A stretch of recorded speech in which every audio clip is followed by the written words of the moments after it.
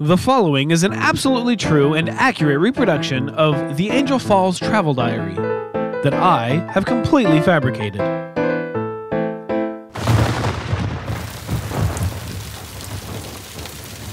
There's so much rain. I fear this is not what I had imagined when my love and I set upon this adventure. I see my new wife now hiding herself from the elements beneath the foliage of a banana tree.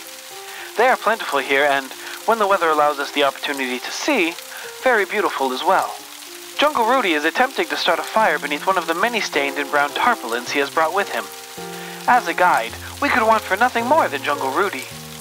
He has steadfastly guided us through this dense jungle, his large, rust-colored knife shearing through the ragged branches and vines, easily clearing the way. The climate is much more difficult on us two than I had anticipated, and sometimes I fear that I may abandon this fool's errand as lost.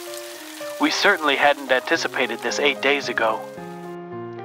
At the time, it had seemed as if fate had guided me to the easy chair in my den.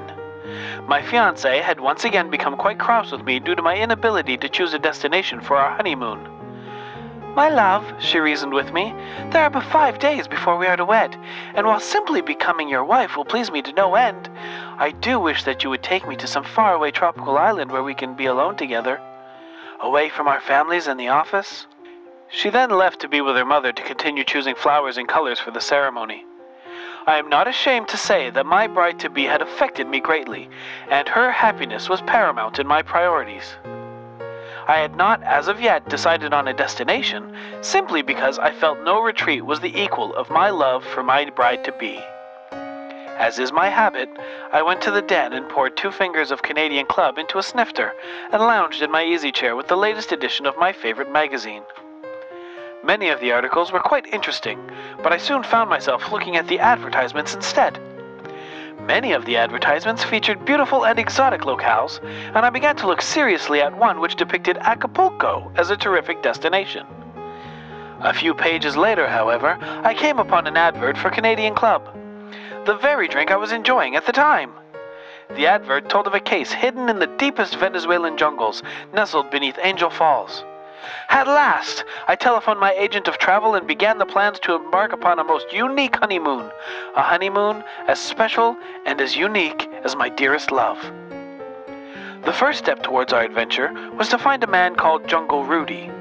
He proved to be a slender man, with a face worn and aged in such a way as to suggest that he is no man to be trifled with.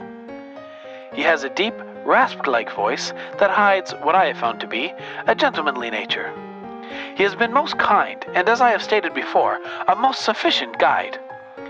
He brought with him as an apprentice a young Venezuelan man by the name of Victorio. He spoke very little English, but was a fine adventurer nonetheless.